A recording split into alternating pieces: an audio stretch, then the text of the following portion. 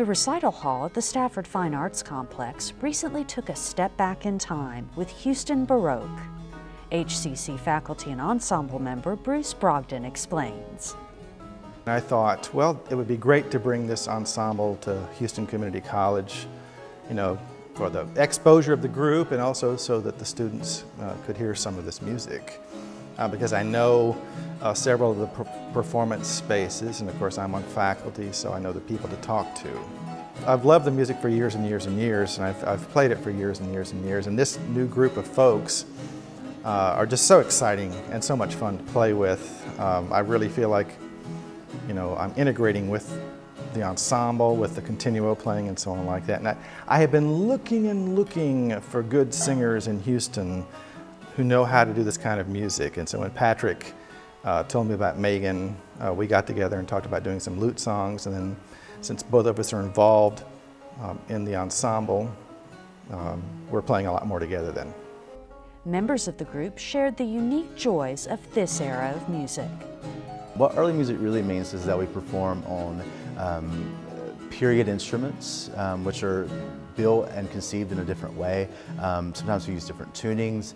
So what we're trying to do is to come up with some sort of interpretation that we believe meets um, the original, uh, the, the, composer's original intention. Um, so what we do, what, what my goal as an early musician is, is to figure out how, for example, um, Bach would have maybe heard his music um, and there's really no way that we can ever know. Um, there's no definite answer, there's no total solution. But my goal as a performer is to come as close to Bach's intention and to understand Bach as fully as I can. And then also, um, on top of that, marry Bach with myself, with my own personality, with my own soul. There's a lot of improvisation. Uh, a lot of this music uh, you're given is pure uh, music that does not have a lot of ornaments, does not have a lot of the things that you hear us playing. And we do uh, follow the text, sort of in a way, uh, but we put our own spin on it, uh, kind of like jazz, and um, that's how yeah, I could compare it to jazz. Um, I started playing jazz and then thought, oh, early music, it's all about improvisation and, and the love of that and just to know how to approach it. It takes a little bit of time and history um, to, to dig in and know what the composer wanted to say or uh, what was happening during that time.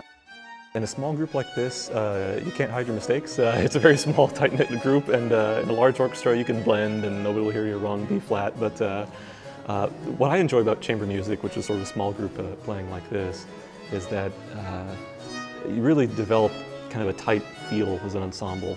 Uh, you know, you can look at a performer's eye right across from you, and just by moving their eyebrow a certain way, you can you can tell that they want to you know speed up or slow down or play louder or play softer, and you don't quite get that intimate feeling uh, that you do in a in chamber music as you do in an orchestra.